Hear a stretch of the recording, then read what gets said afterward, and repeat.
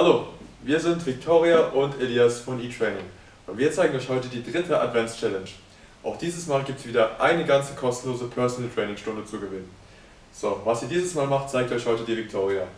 Ihr nehmt einmal ein Ei, das legt ihr auf den Boden und setzt euch dann in Sit-Up-Position vor das Ei bzw. über das Ei, sodass wenn ihr jetzt nach unten gehen würdet, das Ei zwischen euren Schulterblättern ist.